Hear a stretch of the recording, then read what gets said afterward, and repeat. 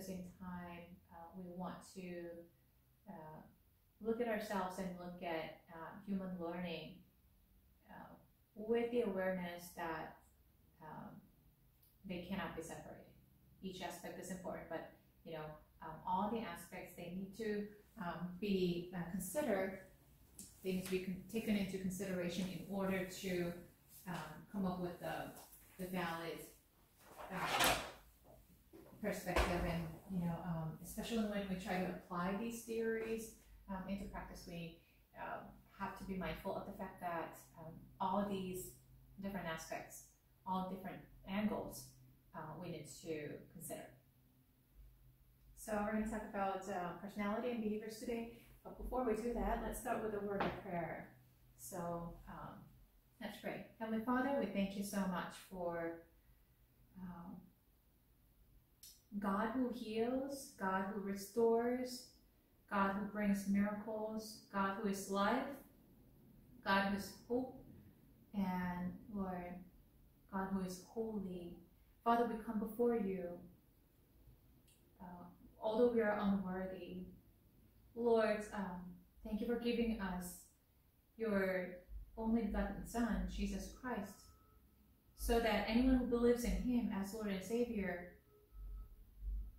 will not perish but have eternal life. And Father, thank you for paving the way for us, tearing down the walls, and uh, also tearing the, uh, the curtain between the Holy of the Holies and Holy Place, so that we can freely, boldly enter into your presence, Lord God. What a great privilege, and Lord, we don't uh, take it for granted. But Holy Spirit, uh, remind us of what a great privilege that is, and help us be thankful each moment when we remember. Um, help us remember where we were saved from, and um, and just the privilege of knowing God and calling Him as a Father. Lord, help us also leave behind all the patterns of life that are not pleasing to you so that we can run forward, run uh, toward the cross God with all our might. Um, just uh, uh, taking off, shaking off all the things that entangle us. Lord, uh, may you teach us um, good things and help us come to uh, aware of human development um, and a bigger picture of who we are and who we are in you. Thank you for creating us. Life is special. Life is precious. Uh, and uh, Lord, help us understand that each one of us um, is valued and precious before your eyes, and that uh, we're called for a bigger purpose and even self-actualization uh, we're called to do something bigger than uh, barely making a living and surviving, but rather we're called to be the salt and light to the world, to reflect your image, to be your ambassadors, bringing positive changes where we, wherever we are, and bringing life where there is no life. Father, empower us and would inspire us this hour. We thank you in Christ and pray. Amen. So we're going to start with Matthew chapter 8. This is a little different uh, passage. We talked about Genesis, we talked about, um, we talked quite a bit about uh, Jacob's story that includes uh, the 12 sons and especially Joseph. And now is a time for us to turn to something different. Um, these are, by the way, all uh, connected to uh, worries and concerns of this life.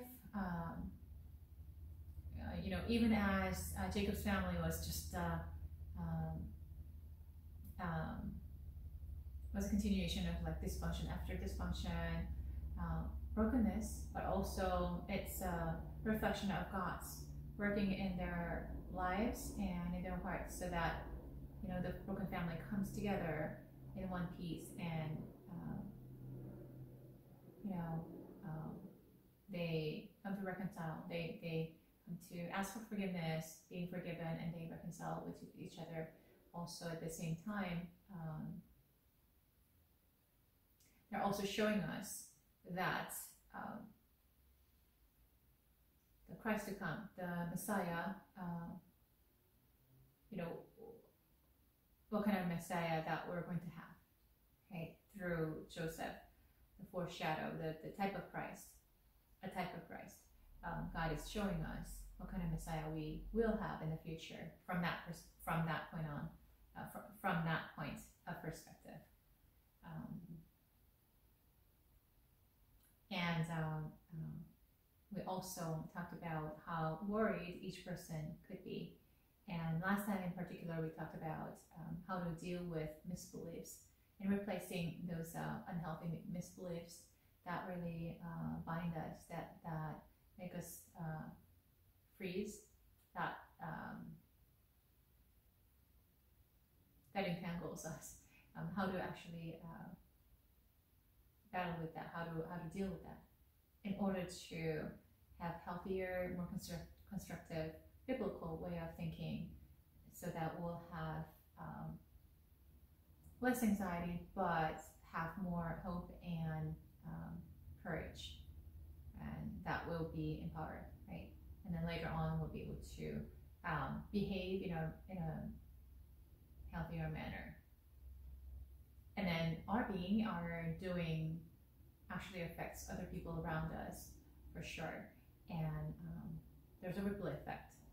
So we want to remain calm. We want to um, be a buffer. And we want to also draw healthy boundaries in order to um, create healthy dynamics that will lead to healthier and um, healthy relationship um, to promote trust to um, to promote consistency and um, and uh, also uh, perseverance, you know, um, and just um, uh, love that lasts, right? To demonstrate love that lasts, the that will be um, cons- consistently available, right, to um, help others and support others around us. We also want to make sure that we're supported as well, and um, we're created to be interdependent human beings, and we um, need somebody to lean on, to to um, uh, to depend on, um, and we depend on each other, right? Um, not to say that we rely more on people than, than God. No, we turn to God. Um, we turn to God first, and then we need to understand that uh, those helpers and uh, supporters, they are given by God. God gives and takes away, right? It's not that God exists and then um, all other people. No, uh, everything comes from God, even the people around us. And so um, there are times when God cuts out even um, those people around us.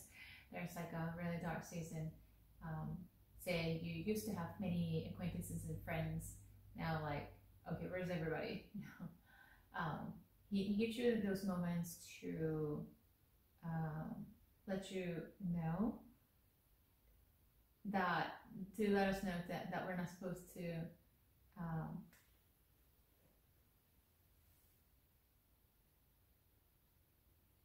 rely on people more than rely on God. Um, he wants us to understand that even people come from God.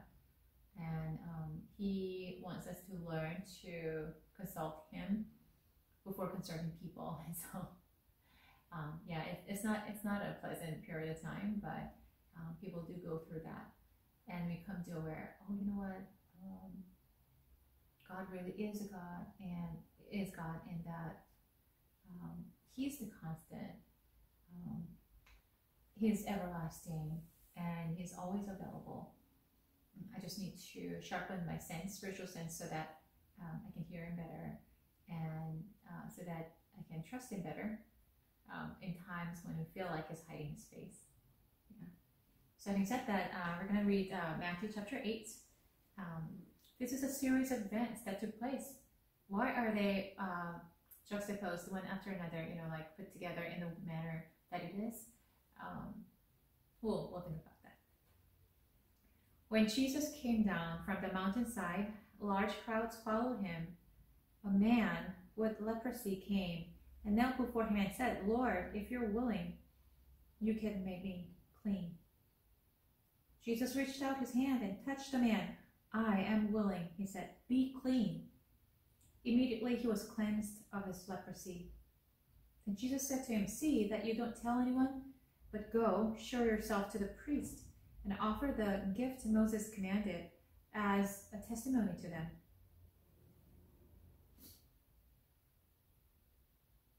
So, in this um, short description of what happened, it's very dramatic in a moment. Leprosy was a skin disease. Um, it's, a, it's a little bit different than uh, Hansen disease that we know of today. Um, that is um, uh, incurable and pretty um, destructive, right? It the damages are pretty good, uh, pretty deep, right? So skin disease, but it was uh, back in those days. It, it, it's a skin disease, not Hansen disease, but it's severe enough that they had to be quarantined. They had to isolate themselves from the rest of the community. Um, they uh, were treated as unclean, uh, spiritually unclean people, and they had to, when they go out on the street, they had to shout out, you know, um, unclean, unclean. Can you imagine yourself doing that? It, it's the shame that you have to put on yourself um, and let people know. And you are definitely isolated from the community. You can't even go back to your own family. And certainly you cannot participate in worship, right? That's another isolation. And um, so these people uh, are pretty much, you know, their destiny is set. You know, you're gonna uh, miss people all the rest of your life, and you're gonna just live as a leper. So, um, hence, this person, a leper, um, knows that no doctor can heal him, right? So he actually uh, heard something about Jesus that uh, Jesus does not, not does not mind dealing with unclean people. Um, the Pharisees and Sadducees and other spiritual leaders were afraid, and uh, also they uh, put the laws first um, rather than loving people, right? And so um, these people are pretty much neglected and uh, given up. Now, um, he came to Jesus because he heard that Jesus heals people, that he does not mind being around unclean people. So um, he came and knelt before him. Lord, if you're willing, you can make me clean. Jesus reached out his hand and touched the man. I am willing, he said, be clean. Immediately, he was cleansed of his leprosy. So, um, in a different version, um, he, he says, you know, what do you mean uh, if I can? Um, or if I'm willing? You know, of course, uh, there's nothing um, that I can't do. Um, and um, be healed, right? Jesus reached out his hand and touched the man. I am willing, he said, be clean. Immediately he was cleansed of his leprosy. Um, Jesus um, probably, probably, it's, um, I'm guessing that he knew uh, this leper, he came to this town um, at that hour on that street, knowing that the leper needed help. And he was right there. I'm willing. Be clean. And just like the, you know, God our Father spoke the world into being, when Jesus says he has the same authority, he says, be clean, then this person is clean, right? Immediately. It doesn't happen two years later. It, it happens right, right there then. Doesn't mean that our prayers um, are answered immediately, and some of them are, but um, sometimes it takes time. It's different than when Jesus speaks that. So then, is Jesus not willing to help us when we cry out in our prayers, especially the desperate ones? He is listening, um, but just like Daniel chapter 10, there's a prince of Persia that uh, blocks our way, blocks the uh, angel of God uh, coming through. And so, uh, day one, God is listening and He knows our prayers. He knows even before a word is on our mouth, but um, we don't understand. Uh, we sometimes forget the fact that there are battles going on in the heavenly realm. That's why we need to pray and um, engage in the warfare.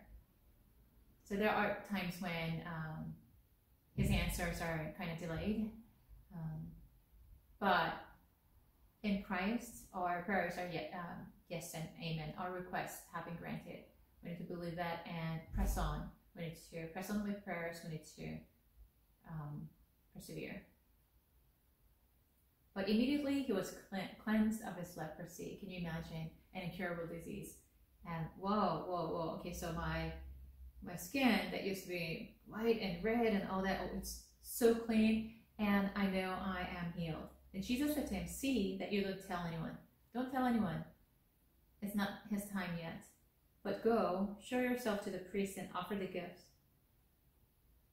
Why? Because, you know, the priests used to be the ones who were given this kind of diagnostic role. And um, if you have a, an illness that separates you from the rest of the community, you know, by being unclean, I think it was a great, great way to keep everyone healthy, right? Um, but then you need to go to a priest, present yourself, and um, they need to diagnose you. Um, you have been restored. We, you have been healed.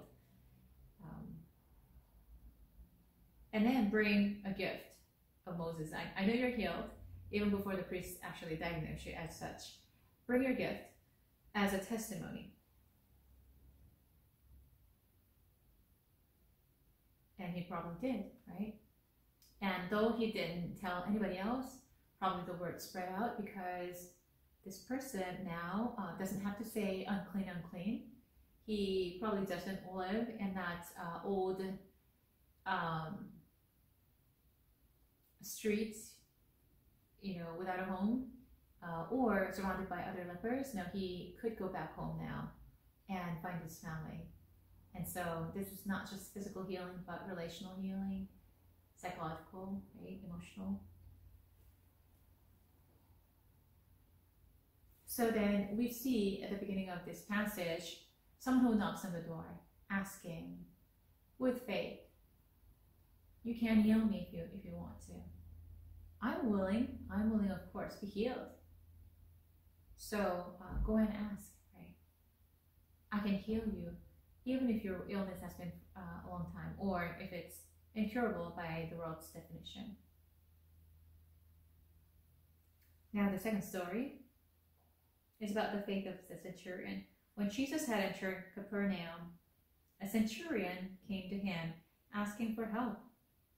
Lord, he said, my servant lies at home paralyzed, suffering terribly. Jesus said to him, Shall I come and heal him? How kind he is.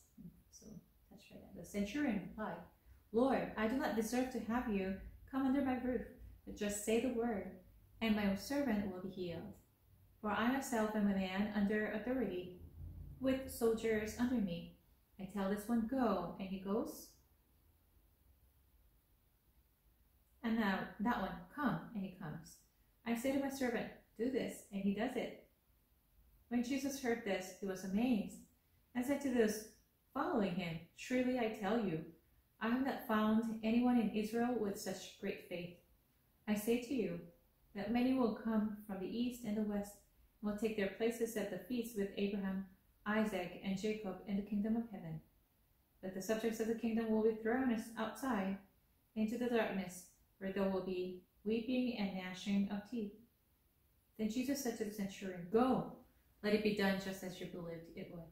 And his servant was healed at that moment. Another healing story. What is different about this? It's also about faith. Yeah, before it was a leper, uh, outcast, unaccepted, unapproachable, uh, untouchable. Now we're talking about a centurion who is um, the opposite of the case, um, who is uh, who is given power and authority. Roman official centurion. A centurion has like a hundred soldiers under him, and uh, into leadership and um, you know um,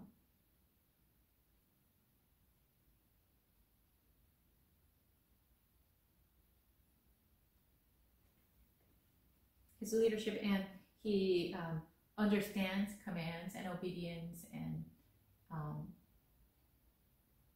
chain of command um, and loyalty and all that, right? Now, um, he's heard of Jesus as well. Um, so the Roman Empire knew about Jesus. Um, many of them actually wanted to follow him, but probably out of their, you know, because there's like loyalty conflict and there's um, um, fear issues, you know, like the um, Nicodemus, you know, he was a part of Sanhedrin, he was a high official and he couldn't dare to come to see Jesus during the daytime, so he chose the nighttime when nobody was out and everyone was asleep. Um, but the centurion was not afraid.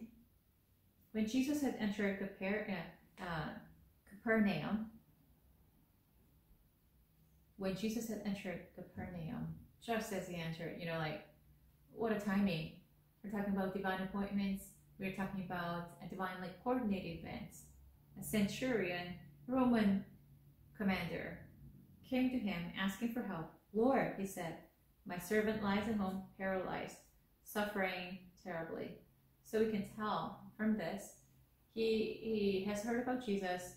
He is bold enough and humble enough to let go of his um, title and authority to come to prostrate before Jesus, um, knowing that Jesus is not just a regular person, uh, knowing that although Jesus didn't have anything that is uh, uh, glamorous or desirable in human eyes, he knew that he was a uh, um, person of uh, high status, uh, not in a world sense, but it's just very noble that um, he was different, that um, it was someone that he should bow, bow before. He, he knew about that, right? And of course, um, someone with the healing ability. And so another thing that we know about him is that he said, My servant lies at home paralyzed, suffering terribly. You know, this servant, so a couple of things. The servant must be very important in his life, right? Um, otherwise, you know, because servants and slaves or, you know, and women were treated as properties, um, they didn't have any rights. He did not have to show concern. He did not have to worry about it if they got sick, right? Um, but he came for the sake of this servant. He must be very important. Um, or this centurion must be really caring. This uh, centurion knows um, all about his servants' lives, um, genuinely interested in their uh, um, welfare and success. And he um, is an uh, other oriented person. You know, he doesn't pray about, he doesn't request prayer for his own, uh, his own, uh, own life or his, his you know, direct family or anything like that. He um, brings up, you know, this concern to Jesus. He, the reason he ran all he could, you know, as fast as he could to Jesus is to uh, help this servant uh, live again, right? And so he's a caring person. Jesus said to him, Shall I come and heal him? So he saw um, that this centurion um, showed on his face, like, you know, I'm really concerned, and and please, please help me. Jesus said to him, Shall I come and heal him? Jesus was not saying that, okay, so, you know, like the most of the doctors, like, let him come to me. No, he said, Shall I come and heal him? What a humble God we have. The centurion replied, Lord, I do not deserve to have you come under my roof, but just say the word, and my servant will be healed. He uh, is a centurion who uh, commands other people, and he acknowledges Jesus' authority. Although, like, he wasn't wearing fancy clothes again at, at all, like, um, actually, what he was wearing was an undergarment. Uh, the, the, the, the picture of Jesus that we have uh, is his undergarment. And um, his outer cloak, um, he was actually uh, hanging it over his um, shoulder like this. And that's considered as a sash, but it's not a sash. It's uh, it's his outer garment, um, and probably it was his blanket when he was sleeping yeah, in the wilderness. because um, he didn't have a home. He said, foxes have a home, birds have a home, I don't have a home. Um, and so he was amazed because this centurion is not even a Jew, uh, not one of his disciples yet. And uh, I just know that I'm a manager of authority. I, I have power and authority. I, I tell this one go and he goes, come and he comes. And I say, um, do this and he, he does this. So I know that you are a, a person of authority and power. Um, I can't figure out who you are, but you have the leadership force in you. Um, you know, so um, I don't really. And, and by the way, I, I think you are very, very, very um, magnificent, holy uh, person above human beings. And um, so I do not deserve to have you come under my roof. Um, you must be um, treated with honor and respect, uh, better than my household. So you can just say the word, and my servant will be healed. And uh, Jesus was surprised because uh, truly I tell you, I have not found anyone in Israel with such great faith. How is it that the Gentiles have, uh, who we barely started uh, reaching out, know God better than you do? I say to you that many will come from the east and west and will take their places at the feast with Abraham, Isaac, and Jacob in the kingdom of heaven. But the subjects of the kingdom will be thrown outside into the darkness where there will be weeping and gnashing of teeth. So, um, so Abraham and Isaac and Jacob, they are uh, Hebrews, right? But there will be non-Hebrews taking up um, their seats in the um, the banquet of the Lamb, right? And um, who are these people then? The Gentiles, right? The Gentiles uh, whom God always had in mind to share the gospel with, to uh, to include and embrace. But the subjects of the kingdom will be thrown outside into darkness where there will be um, weeping and gnashing of teeth. So uh, this is not the subjects uh, these are not the subjects of the kingdom of heaven, but rather um, they're the subject of the kingdom in a sense um, that they actually look, uh,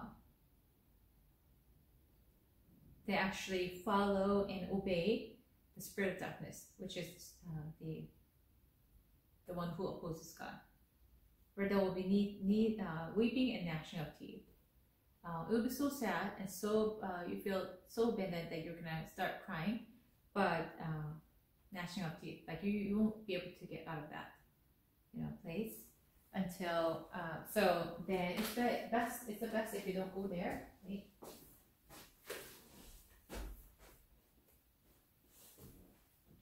So then um,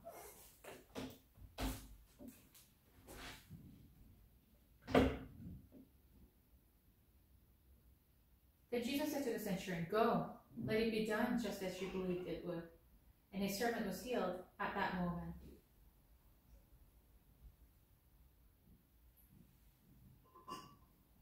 So you want your servant to be healed?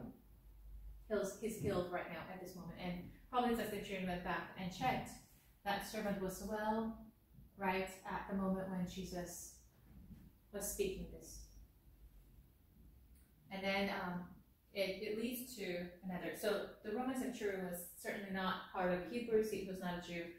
He doesn't belong to the people of God, but um, he understood the spiritual principles. He had greater faith in Jesus than most of the Jews did. And so then just Jesus didn't even have to go there because the centurion had this faith. Like just say the word, we know that by by by the spirit spoken, when you once you speak it, it comes true. I can believe that. Do we believe when Jesus has spoken a word to us, uh, regardless of the situations, like the centurion servant was dying, uh, suffering terribly, he was paralyzed, right? Uh, not in a good state. If you have those circumstances, um, you know, uh, is Jesus still willing to heal? Is Jesus still close to us? Can we be healed? You know, can our loved ones be healed by the power of Jesus? And uh, can he heal people when they don't, don't fully know him? Because you know the Roman soldier, the Roman centurion had certain understanding of Jesus, but that was certainly uh, a very small portion of um, a small part of who Jesus was and how he was like. The next passage talks about Jesus healing many. So, like, continues on uh, to talk about his healing one after another, right? When Jesus came into Peter's house, he saw Peter's mother in law lying in bed with a fever. Um, this house actually exists in Israel, if you go there, and um, people all uh, talk about this um, little biblical story where uh, Peter was Peter's mother-in-law was uh, healed. He touched her hand, and the fever left her, and she got up and began to wait on him. When evening came, many who were demon possessed were brought to him, and he drove out the spirits with the word, and healed all the sick. This was fulfilled, what was spoken through the prophet Isaiah. So he healed people, many, and especially uh, demon possessed, uh, who could not be healed in a different way uh, by a different person.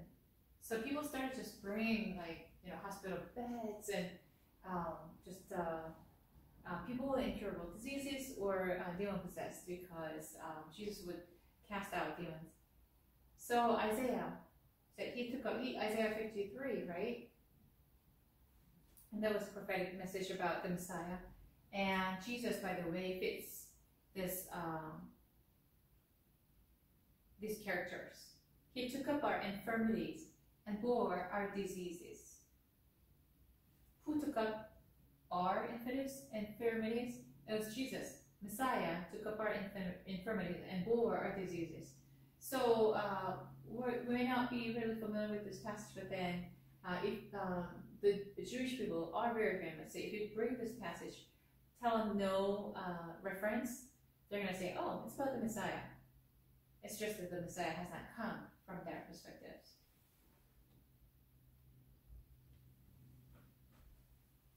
Then um, it talks about faith and healing, right? And um,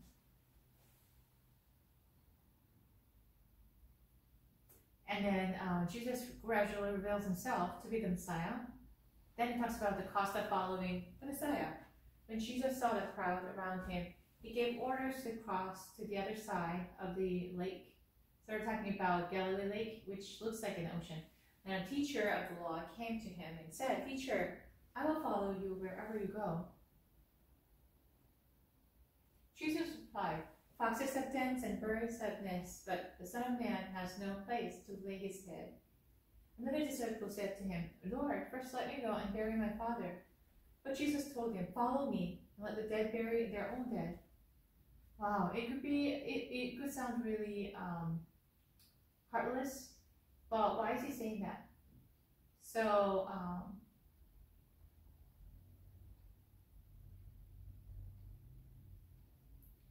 so wherever he went, he was surrounded by crowds who needed him, who needed to see his miracles, he is uh, healing, and also who needed to um, know him just in case, like he's a uh, privileged person, you know, like I, I would you. I mean, uh, some of his disciples actually thought of this.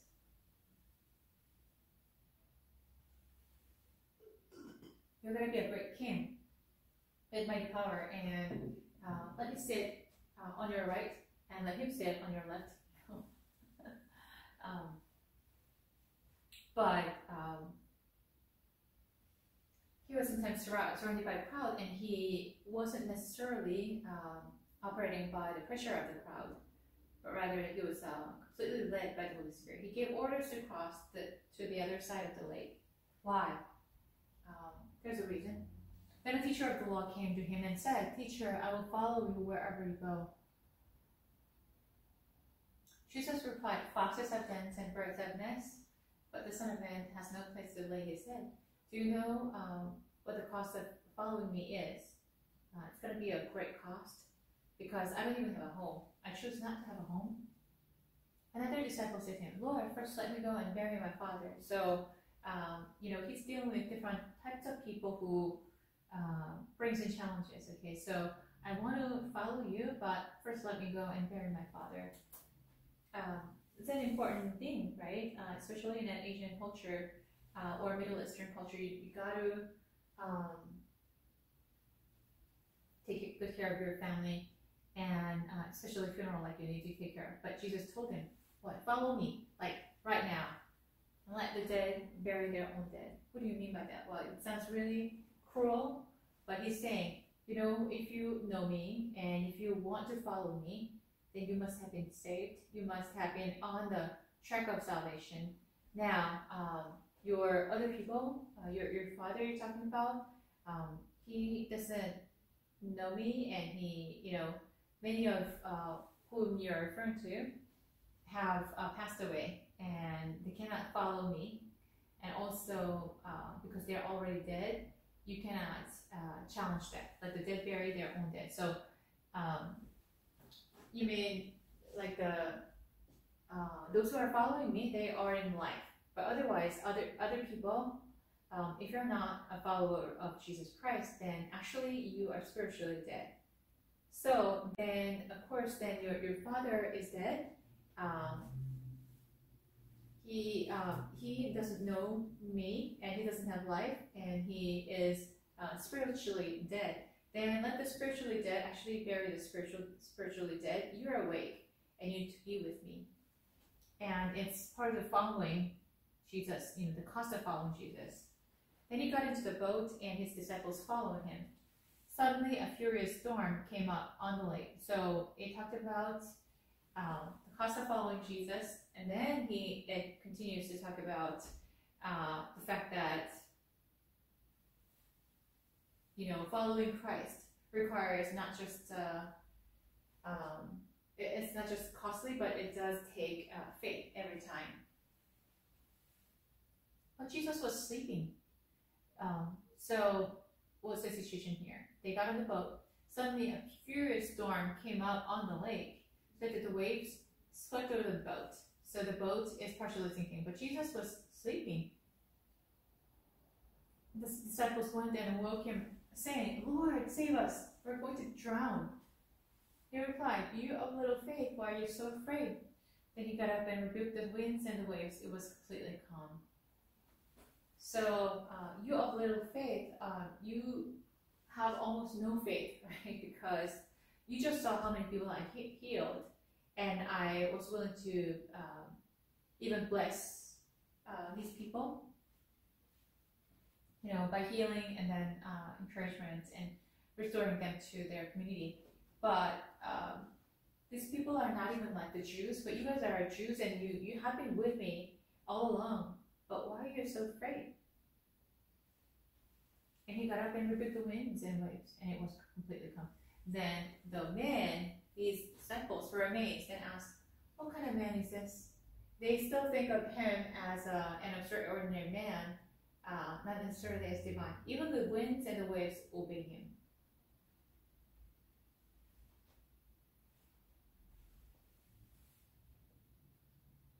Then, um, then there's another uh, episode of healing. So, the, so the previous passage emphasizes the fact that um, Jesus calms the storm, and you know the disciples start wondering, who is this person?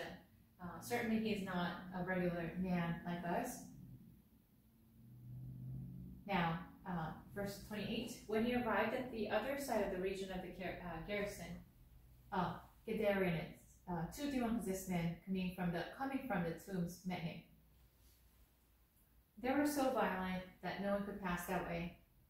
What do you want with us, Son of God? They shouted. Have you come here to torture us before the appointed time? The appointed time. They already know the destiny.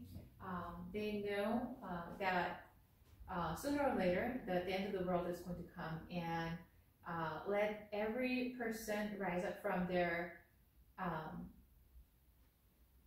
their tombs and they become uh, resurrected bodies and um, at that time people are going to all stand before God the Father as a judge at that time he's not the Father he's a judge and uh, we have to stand before him and give an account of what we have done or we have not done and then he's going to um, say all right so you're going to um, join heaven um, and or you, are going to go down to um, the hell and so the appointed time is when his children, God's children, are gathered up to be lifted up. Um, but then um, the appointed time also refers to the fact that uh, Satan will be um, will come to an end, and that in that appointed time, no matter how sweet she was and whatever uh, she has done uh, great, um, the appointed time comes and the enemy. This is the time when um, all of us will be uh, judged according to what we have done and what we have not done, and the appointed time for the enemy to um, to uh, receive the final um, judgment, saying uh, guilty, and you're going down to the pit of destruction, and you're going to be destroyed forever. Some distance from them, a large herd of pigs was feeding. The demons begged Jesus, If you drive us out, send us into the herd of pigs. Um, he said to them, Go. So they came out and went into the pigs, and the whole herd rushed down the steep bank into the lake and died in the water. Those tending the pigs ran off, went into the town, and reported all this, including what happened to the demon possessed man. But the whole town went out to meet Jesus, and when they saw him, they pleaded with him to leave their region. So the final episode, uh, Jesus heals wherever he goes, right? But each incident we see uh, why he healed and who he healed, what he said to those who, um, you know, like went to, to his disciples, like uh, all these other people, like the Roman centurion and uh, lepers, actually knew uh, Jesus' ability and they um, hang on to him versus his disciples are afraid like why are you uh, sleeping? Like um, don't you see that we're about to die and then there's another healing incident um, the two demon possessed men um, there's a reason why uh, the matthew um, version of the gospel compared to um, other gospels that talk about the same episodes keep saying there are two men two people, two you know, two people who came. Uh, some scholars say that um, compared to say um, Mark, you know, Mark Markan version of the gospel or the same uh, story, you know, Matthew uh, was more in detail. You know, either he copied from the Markan version, saying, or the source Q, uh, saying that, um, you know, uh, you know, she, uh, there's a demon possessed man. So say, you know, the Markan version talks about one man, and then the uh, Matthew version talks about two men in the same episode. Um, it doesn't mean that any version is wrong, but it's just that Matthew got to see two of them, and uh, Mark actually saw one. And so they were telling the truth. Or some scholars actually say uh, there's a little more than that. You know, uh, the reason Matthew wrote uh, two men and two people is because when there, there is uh, one or two people, there, there's like more than two people, they can bear witnesses, right? So then um, this is truly witnessed by uh, at least two people, and so this is uh, actually what happened, what, what actually happened. And so trying to re reassure the um, later audience. When they arrived at the other side of the region of the uh, Gadarenes, two demon-possessed men are coming from the tombs met him. They were so violent that no one could pass that way. Why do you want? Uh, what do you want with the God? They shouted. So even the demons actually know and call him as Son of Man, Son of God, right? Have you come here to torture us before the appointed time? We know where we're supposed to be going in the end, but before our time comes, like, are you here to torture us? Some distance from them, a large herd of pigs was feeding. The demons begged Jesus, so the uh, pigs were demonized, right? If you drive us out, send us into the herd of pigs. Um, so, and not not the pigs are demonized yet, but the uh, demon possessed man, he was cleansed, and the spirits uh, need to find something to attach on, something physical to attach to in order to survive. So uh, there's a large herd of pigs was feeding, and the demons begged Jesus, if you drive us out, send us into the herd of pigs. He said to them, go. Um, because they requested that, and you know, uh, rather than going to a person to, um, you know, uh, not just embarrass him, but you know, to um, to torture him forever, so that he will remain um, insane. Uh, it's better for the pigs uh, to be killed, right? So they came out and went into the pigs, and the whole herd rushed down the steep bank into the lake and died in the water. Those tending the pigs ran off, went into the town and reported all this, like, see this, like, this is crazy, we can't believe this, including what happened to the demon possessed man. So the demon possessed was uh, in right mind, he was wearing clothes, like before he wasn't wearing clothes, he would he looked like he was completely out, but actually he was uh, trying to uh, do something right now, and um, and um, yeah, so then he's he's in right mind. That's like a an unbelievable thing, and and then the whole town went out to meet Jesus. Look what he has done. Uh, I yeah, let's just go, go check him out. And when they saw him, they pleaded with him to leave their region instead of like uh, worshiping, instead of uh, uh, saying thank you for saving lives, uh, because there was such a uh, great econ- economical loss you know, their parents all died. And so they pleaded with him to leave their region um, because they are less happy about, less concerned about people dying. Um, but um, they, they were less concerned about uh, people being healed, but they were more concerned about the money itself, monetary loss. So then, um, when we do God's work as well, people may uh, tell you, you know what, this is not what we uh, thought it should be. Uh, whether theologically like sound or not, I, don't care. This is what we need, and if you can't do it, then um, maybe we should start all over again. Uh, can you please leave, leave us? So basically, um, out of their mental loss, they had to ask uh, Jesus to leave. Jesus is all about um, free, setting people free and to um, to show them who Father God is.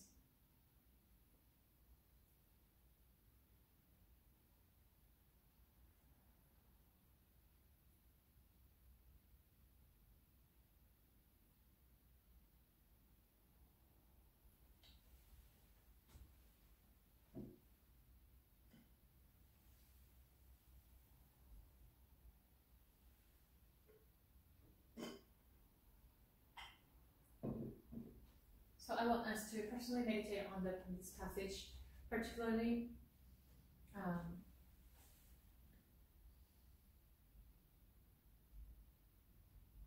and so let's take a deep breath um, and let the Word of God wash over you.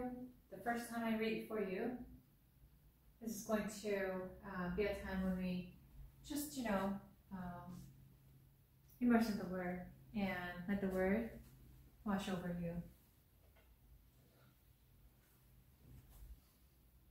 Let's take a deep breath. Uh, the, uh, you know, counting six. Okay, inhale. One, two, three, four, five,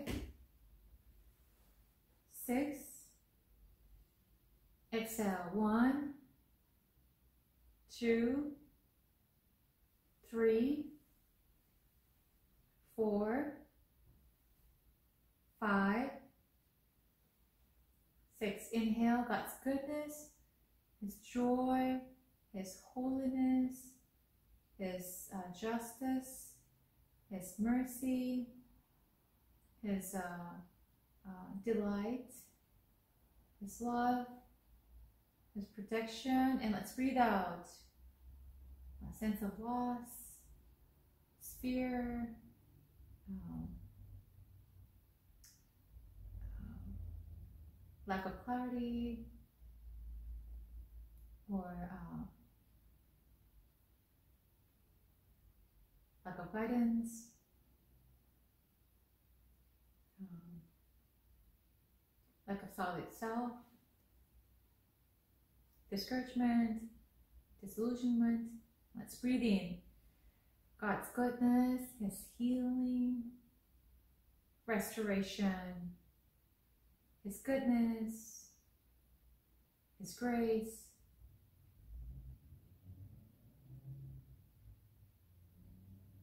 And even anointing and um, uh, physical heal, heal, um, healing as well. And then let's breathe out our selfishness, misunderstanding, something that um, God does not serve. It could be a thought or word. That's breathing God's goodness, His mercy, grace, strength. Let's breathe out our own plans our stubbornness,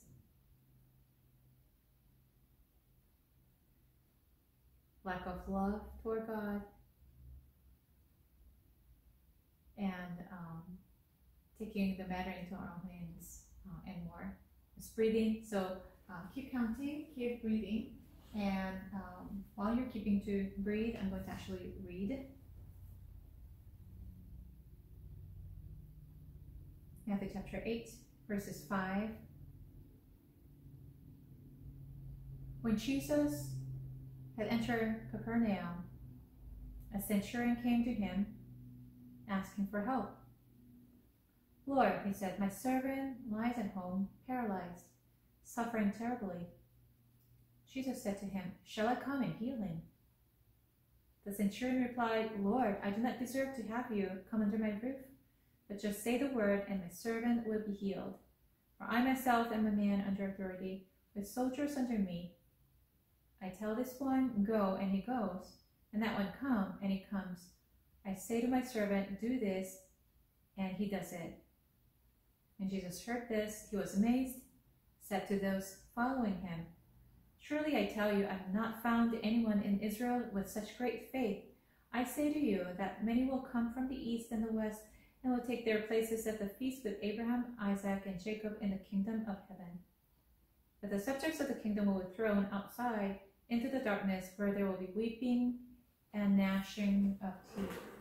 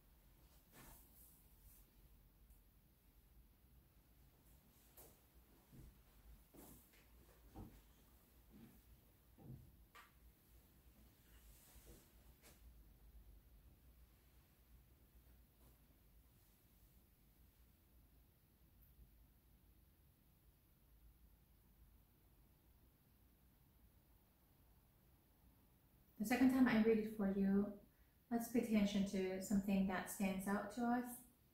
It could be an image, it could be a word or phrase. When Jesus had entered Capernaum, a centurion came to him, asking for help. Lord, he said, my servant lies at home paralyzed, suffering terribly. Jesus said to him, Shall I come and heal him?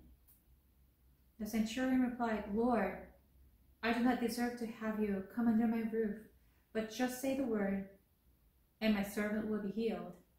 For I myself am a man under authority, with soldiers under me. I tell this one, Go, and he goes, and that one, Come, and he comes. I say to my servant, Do this, and he does it. When Jesus heard this, he was amazed and said to those following him, Truly I tell you, I have not found anyone in Israel with such great faith. I say to you that many will come from the east and the west and will take their places at the feast with Abraham, Isaac, and Jacob in the kingdom of heaven. But the subjects of the kingdom will be thrown outside into the darkness, where, where there will be weeping and gnashing of teeth. Then Jesus said to the centurion, Go, let it be done, just as you believed it would. And his servant was healed at that moment.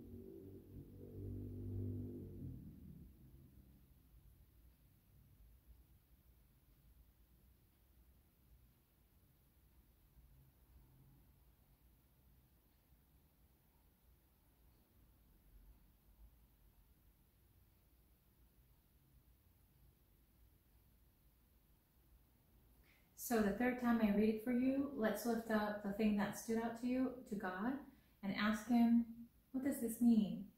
Why did you give this word or image and phrase to me?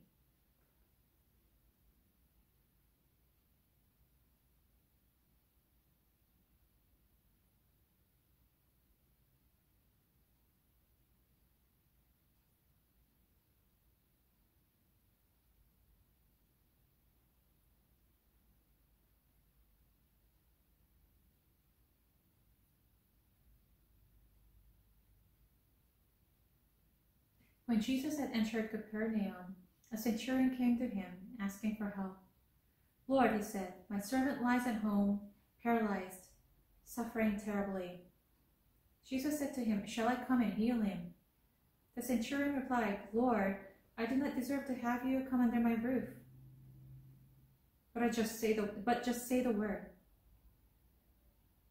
and my servant will be healed.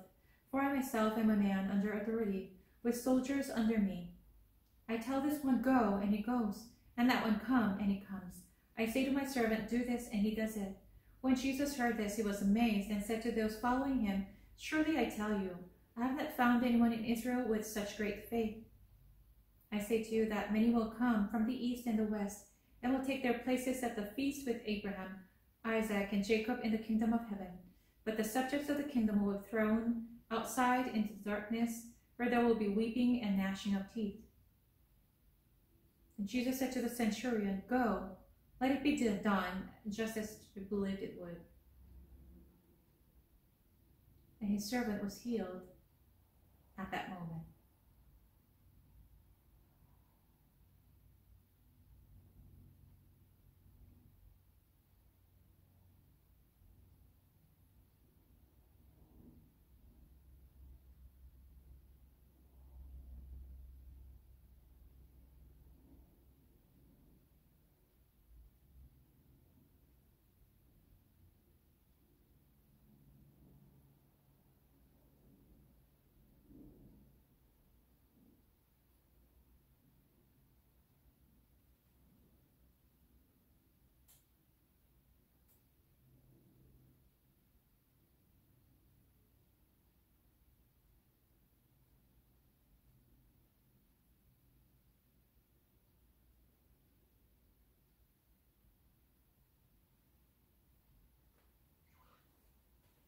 As I read it for the fourth time from the Message Bible, um, just uh, rest in God's presence um, in, in His Word.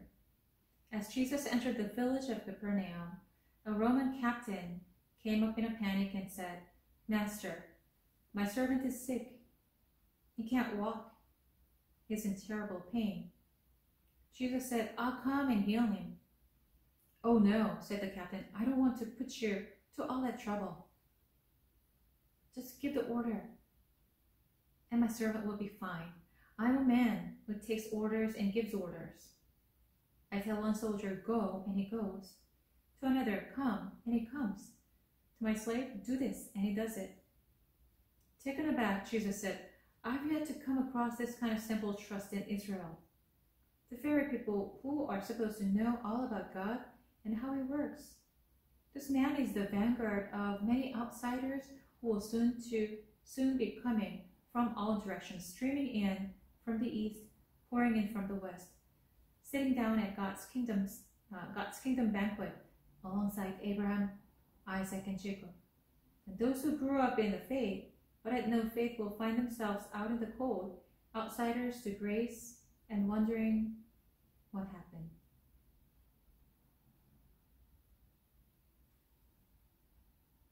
Then Jesus turned to the captain and said, Go. What you believed could happen has happened. At that moment, his servant became well.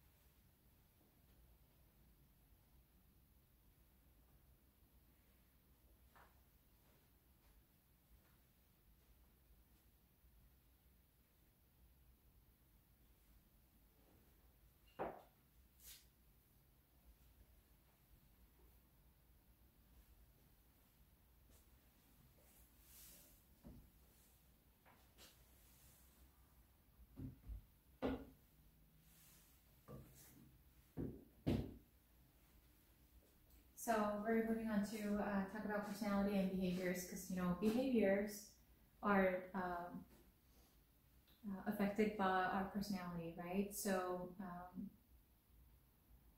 people can be doing engaging in the same behaviors, but they their thought processes and their uh, feelings may be different. Um, on the other hand, um, they may have the same type of feelings um, but they have different reactional behaviors too, right? So um, personality uh, comes into play, and uh, so uh, you probably heard DISC analysis a lot before, and um, what does D stand for, right? D stands for dominant,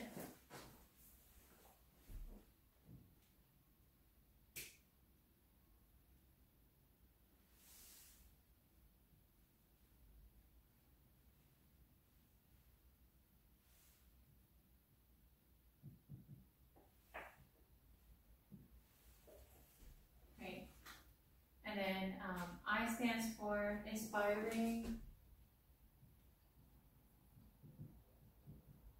And S stands for supportive.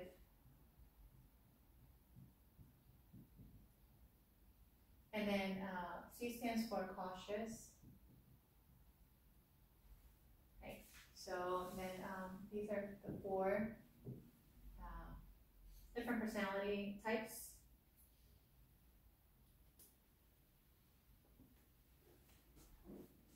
And um, so then, uh, what is dominant? Dominant person is motivated by, so each person is motivated by different things, right? Uh, you know, dominant person is motivated by solving problems. Like, okay, oh, if there's a problem, oh, you know what? I want, I want to go ahead and, um, and tackle it. I know how to solve. And then conquering challenging situations. Oh, there's an issue. Oh, this is a very difficult situation. I can do it. You know, just so they just uh, uh, rise up, you know, to the situations. And we, we sometimes see these people, right? And we're like, oh, we're really thankful. These people are courageous and uh, they have the brain, they have the ability to seem to um, solve this. But it's not not just about the abilities, but it's rather their personality, right? Yeah, I'm gonna just tackle it um, and getting the results. Yeah, I can get that done. You know, I can get that done. Um, versus inspiring uh, person is motivated by the opportunity to interact with people. So these are more relational people, right? So dominant person um, seems to be uh, more task oriented, but um, uh, inspiring people tend to be more relational. Um, they are motivated by public recognition um, and then uh, varied activities because activities um, gives you an opportunity to engage with other people, um, meet different kinds of people perhaps. So people oriented, right? How about supportive people? They're motivated by teamwork, the opportunity to help others. Because you know, it's all about th these people are also people oriented, but um, feeling appreciated for their contribution. Um, supportive people tend to be a little more uh, about the support um, versus inspiring people can um, uh, it, they don't have to be supportive, right? They don't have to take on the supportive role, but rather uh, they're drawn to the opportunity to interact with other people. They can they can be kind of dominant, um, but just motiv more motivated by people, right? Uh, cautious people are motivated by structuring or organizing things, researching or searching for information, finding the right solution for a problem. Yeah. So these are not the uh, exhaustive list of personality, of course, but um, someone who came up with um, DISC analysis actually defined this. And then there are uh, four different um, behavioral styles. So um, one is uh, analytical,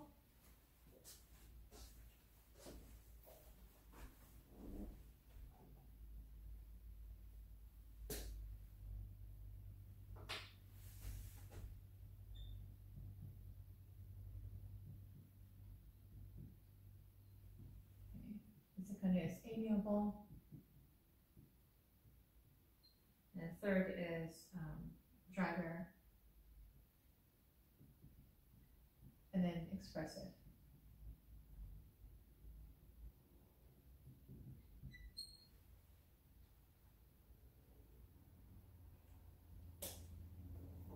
So analytical, uh, the description is they're noted for the ability to gather and review data. So sort of like cautious people, right? Um, typical for people in technical positions such as engineering, accounting, and information technology. Details and accuracy are important. Take great pride in providing information that is correct. Yeah. And then uh, what kinds of skills do they have? Spending extra time to make sure things are right. Yeah. They, they, they're bothered by like the gaps or uh, discrepancies, and they need to get it right.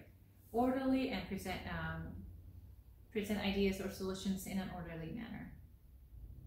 They can come across as indecisive because they are kind of considering different factors and they need to do it right, you know.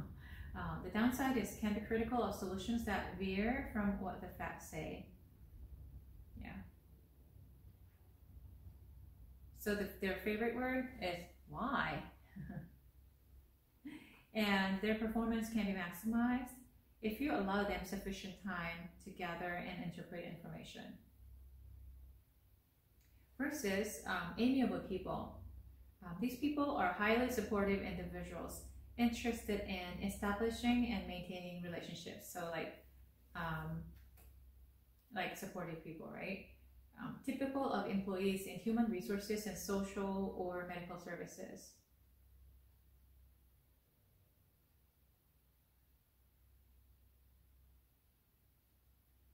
So what kinds of skills do they have? Achieving consensus within an organization, like that's their gifting. Um, they effectively facilitate groups and bring sides together to develop a win-win solution. This is very much needed, right? However, the downside is uh, they desire to reach agreement may cause, their desire to reach agreement may cause the person to conform too easily. Yeah, so they're people oriented, they're mindful, um, we, we want to make sure that nobody's hurt. so then, um, you know what? I'll, I'll, just go with you. I'll just go with you just to give you a vote so that it'll be easier for you to reach an agreement. Um, the favorite word is we, and their performance is maximized if you allow them to initiate and stand behind their ideas. If you allow them to maintain relationships in the organization. So um, so allowing them to initiate and stand behind their ideas. Um, so they, they can present their ideas, but their interest is maintaining relationships, right? Yeah.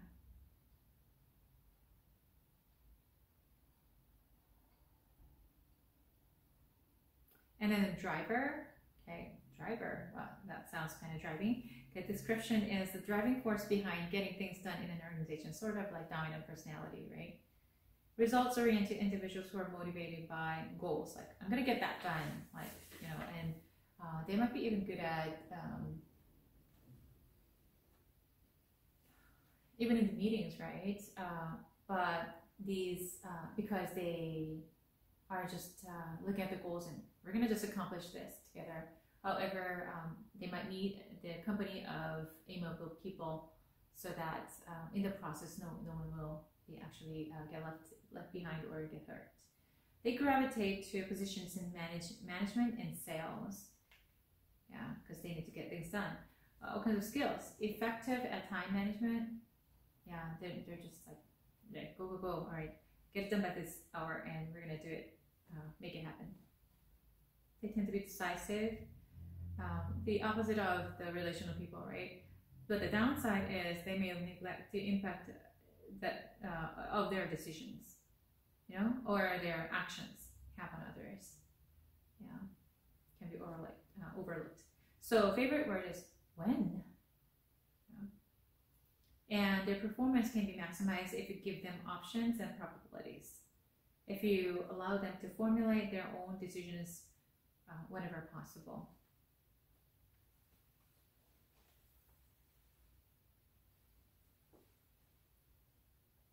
Yeah, so they're goal oriented, and so like if you set the goals clearly, or if you give them clear options, that'll be easier for them. And then expressive people, um, they're company visionaries, good at grasping the big picture. Like this is the big picture. All right, so we're talking about this, but this is like one only one, uh, what aspect? Like just one of the aspects. Um, have you considered the others? Um, and you know, this is this is like this is where we want to get at. You know? uh, gravitate to positions in marketing and strive to get ahead in an organization. The politicians in an organization. So they're very good at communicating as well, right? Um, visionaries. And then um, what kinds of skills do they have? They develop new concepts and they have the ability to size up a situation based on personal experience. so you know what? Based on my experience, like I've, I've got a similar similar experience, or like I have an experience that can be applied to this situation. You know, like this is like generally what the big picture is, and this is how I handled, and I think we can go for that direction. So like trying to persuade people, right, uh, with their expressive gifting. The downside is being so confident of their gut feelings, like I've done this, been there, done that. You know, like let's let's do this. They may often ignore or neglect facts that are presented to them. So actually, you know, it's case by case. This case is quite different than their previous experience, but they just take a stab at it and then say, you know what, I know how to do it. This my gut feeling is this. Um, but then the the little facts that were kind of different, you know, that make your your new case different than old case, um, can make you trip. Lack of attention to detail is also an, another downside. Favorite word is I. I know this. Okay. And then their performance can be maximized if, if show interest in their ideas and compliment them. Oh, you have a wonderful idea.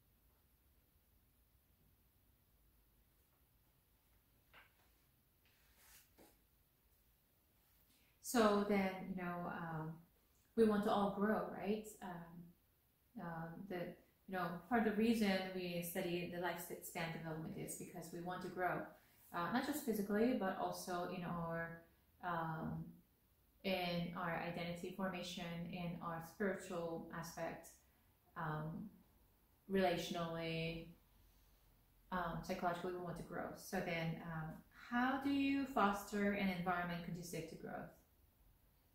Um, it's, it has to do with self-esteem. It has to do with uh, locus of control, like who controls it. Um, is that internally or is that externally? You know, like um, we're going to talk a little more about this. You know, when you're more internally uh, motivated, and when you're when you have a sense of control on your own, then you tend to be more motivated. But we'll, we'll talk about this. Introversion, extroversion. Okay, so introverts uh, tend to focus their energies inwardly and have a greater sensitivity to abstract feelings. And extroverts direct more of their attention to other people, objects, and events. And um, there's a difference between authoritarianism and dogmatism. Authoritarianism is um, an individual's orientation toward authority. So um, how authoritarian are you, right? You could be demanding, directive, controlling of her subordinates, submissive and differential towards superiors. So like uh, there's a hierarchy, like you, you guys need to uh, respect and you need to report to me every once in a while. And I do the same for my superiors. Intellectually rigid, they tend to have like this rules. They're fearful of social change, highly judgmental and categorical in reaction to others. Okay, so you, oh, all right, so you're this type of person, aren't you? Really? um, uh, and then they can be distrustful and hostile in response to restraint.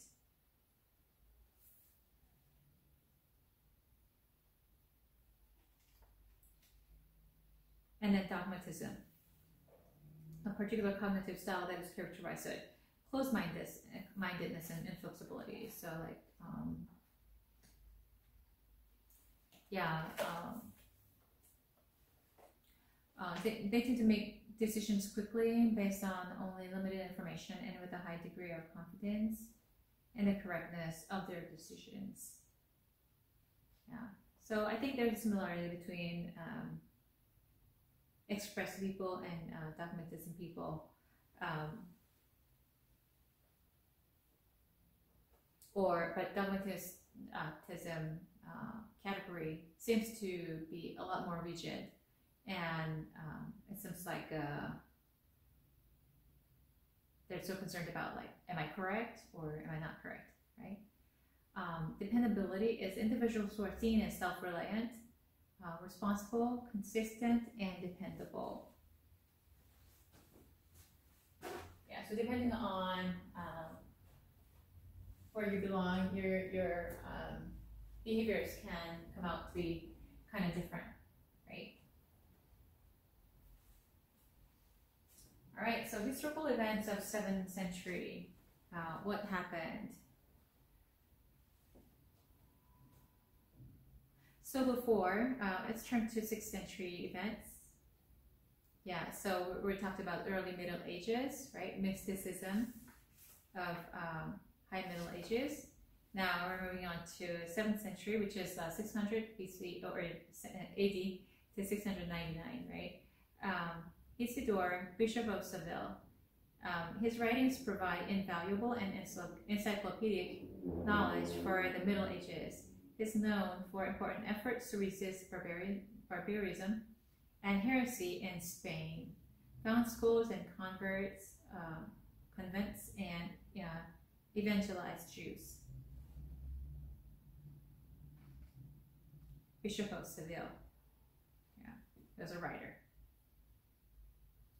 Now, 609, uh, pagan pantheon in pantheon in Rome, consecrated as a Church of Saint Maria Rotunda. As part of the dedication, Pope Boniface confirmed All Saints Day. So, if you uh, celebrate All Saints Day, it came from this uh, 609 I, we want to see more, more of this happening these days, right? And then organs began uh, to be used in churches before, like even an organ was um, considered as demonic, right? Uh, church bells are used to call people to worship and to give the hours to the monks in the monasteries. Yeah, certainly practical reasons, right? And then learning flourishes in Anglo-Saxon monasteries. Century 48, Emperor Constans II issues the typos limiting Christian teachings to that defined in the first five ecumenical councils. Pope Martin, Martin I refuses to sign typos. Martin is seized and banished to Crimea and dies. His uh, last pope to be venerated as a martyr.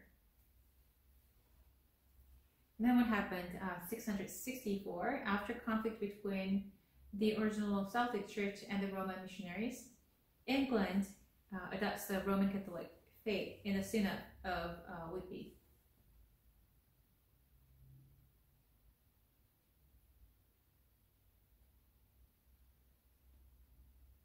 Muhammad, 570 to 629, begins the religion of Islam, which begins to supplement Christianity across the Middle East and North Africa. 638 is Islam, Islamic capture of Jerusalem 692 um, Anglo-Saxon bishops Kilian and Willibrord carry on extensive evangelism mission on the continent among the Franks. So quite a few, few things happen uh, during this time, but uh, more and more development. Um, in terms of uh, intellectual engagement and um,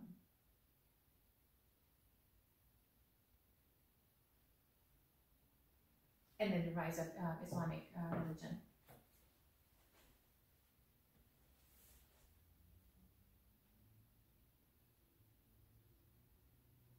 So then uh, we're going to move on to the next misbeliefs. Uh, we're going to talk a few minutes about this and then uh, come to closure.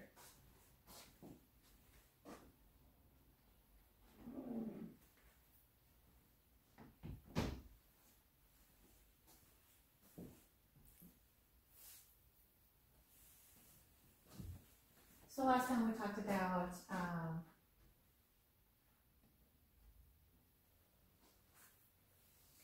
talked about uh, misbeliefs, right? How to debunk or uh, work on the misbeliefs so that we can replace that with the biblical truth, uh, the voice, voice of God, so that we don't um, end up engaging in more dysfunctional, uh, negative, unhealthy behaviors, right?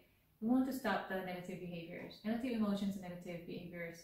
Well, when I say negative emotions, I'm not saying, okay, don't feel angry, don't feel sad, I'm not saying that, but then um, if it actually originated from an unreasonable misbeliefs, so that um, you don't have to feel so worried. We don't have to. You don't have to feel so fearful, but you are.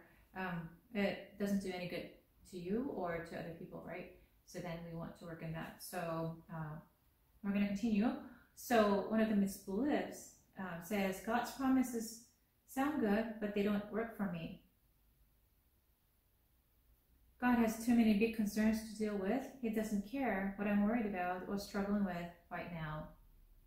Yeah, so these are misbeliefs because they're inconsistent with the characters that the, the Bible talks about, right? Uh, but but there are times when we feel this way, right?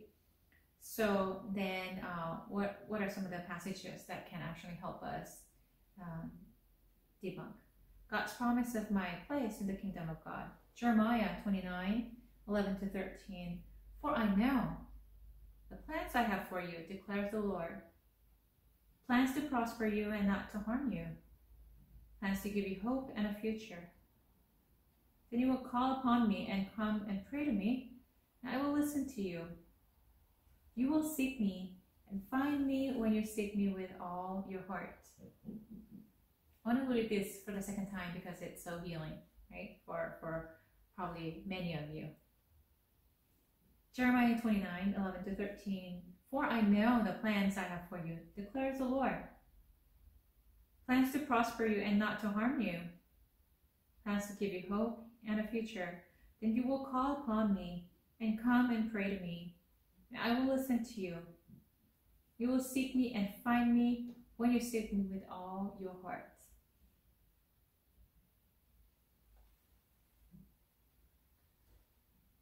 And then Romans 8:28, um, 31 to 32. And we know that in all things God works for the good of those who love him, who have been called according to his purpose. What then shall we say in response to this? If God is for us, who can be against us? He who did not spare his own son, but gave him up for us all, how will he not also, along with him, graciously give us all things?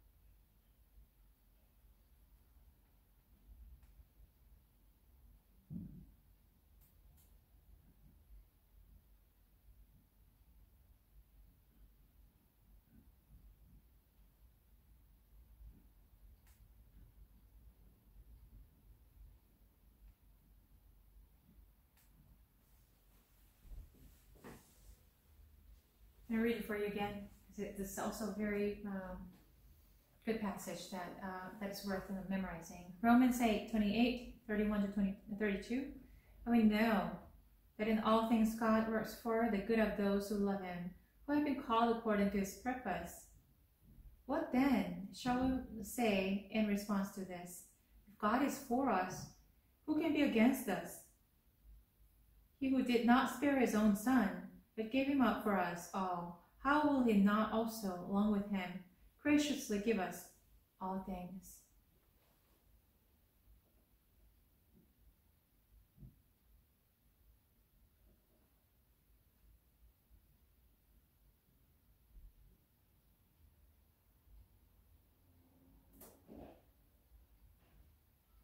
And then Ephesians 3 20 to 21. Now to him who is able to do immeasurably more than all we ask or imagine, according to his power that is at work within us, to him be the glory in all the church and in Christ Jesus throughout all generations forever and ever. Amen.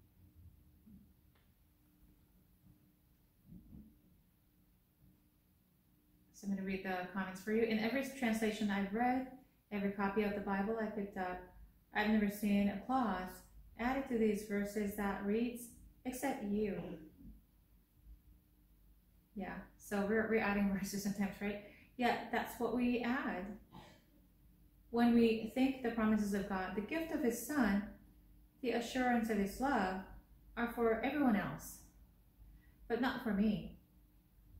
He who did not spare His own Son, but gave Him up for us all. No exceptions. No disclaimers. God's promises are ours for the taking. We need only open our hearts to the gift of His grace. So I understand, you know, there are those of you who might, um, who might have um, uh, have kept your hopes high, who have um, really believed that that God would bring forth what He has uh, promised to you. Uh, and you've been diligently praying and you've been um, kind of searching and seeking and doing your part in order to uh, really see the fruition of it. But then, um, you know, you were just, um, uh, you, you were so disappointed like time after time. If you have gone through a series of that, uh, not just once, it'd be very hard for you to imagine again, to, to hope again, to, because, you know, like uh, there are those people who actually say, um, I'm afraid to dream again. I'm afraid to hope again because last time I was really beat down. I was really disappointed and um, God's promises did not come true. And um, it's not that that person is living in sin or, um, you know, did anything to deserve like uh, God's curse uh, compared to other people, you know, um, who have received their promises, right? Um, so then, you know, uh, it can be very difficult for you to, just like I said, uh, dream again or hope, hope again but um, we don't know why sometimes, but the Bible keeps saying this is true. Uh, God is good and He has the best plans for us. Uh, it, it's uh, uh, He's able to do immeasurably more than what we can ask or imagine. That's that's who He is. That's His typical character. His character that does not change.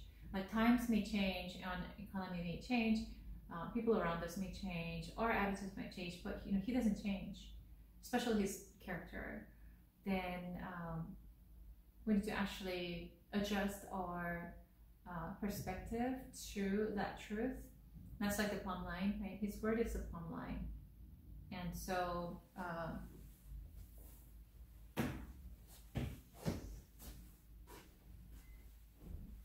say you know, I, I wonder if you've seen uh, line before.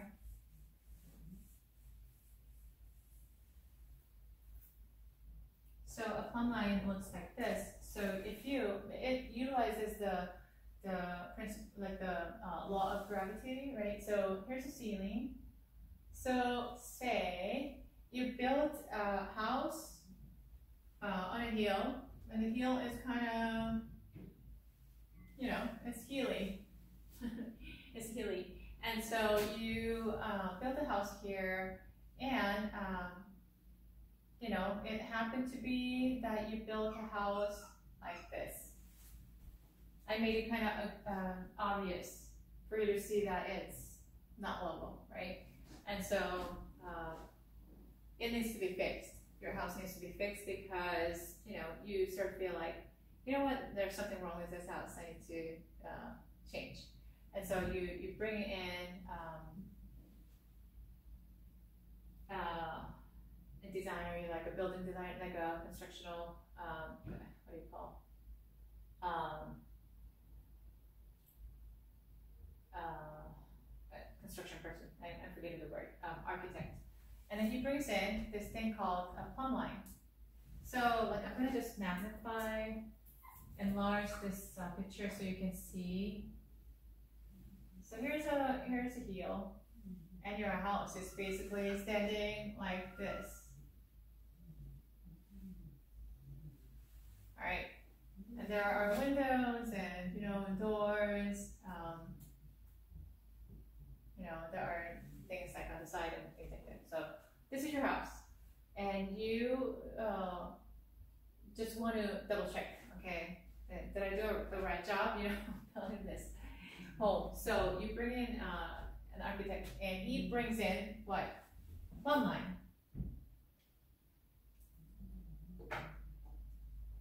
Here we go. So what he does is here's the ceiling, and so he hangs it right here. Plumb line is right here. So because of the gravity, where does it point? It points to the ground like this. It points to the ground. And so um, then you measure the angle here, right? So, so this is 360, but this is like um, 45 degrees here, right? And then here's uh, 135. So by this, what do you notice? You know what, it's not straight. Because if your house is level, then it should be that when you hold this plumb line, this should be about 90 degrees, this should be about 90 degrees. But you see that here it's like 45 and this 135 is like, oh, there's something seriously wrong. So then what you what do you need to do? Somehow you rebuild the house in such a manner so that uh, based on the plumb line, this is going to be 90, right? This is going to be 90, and uh, this is going to be 90, so that you know it needs to come like this. So what, what did you just do? Okay, and, and the walls too, right? What did you just do? You measured against the exact uh, standard, the accurate standard. So the Word of God is a standard. And sometimes uh, I understand. I, I, I totally understand. Uh, be better than that. Um, it's, you know, I, I read it and then just,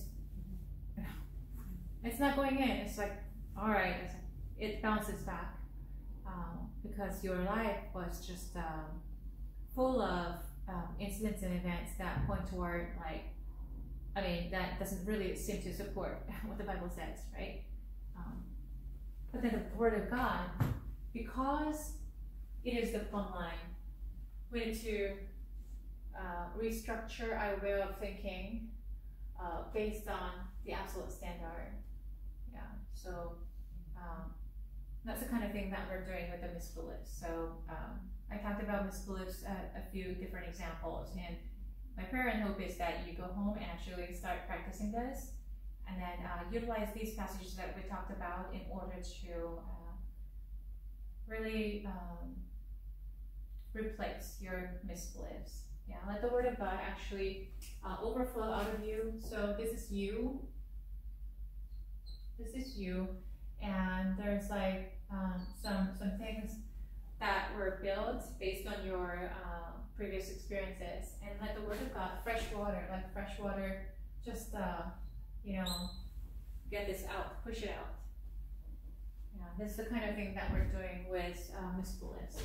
And so, having said that, let's uh, close in prayer, um, shall we?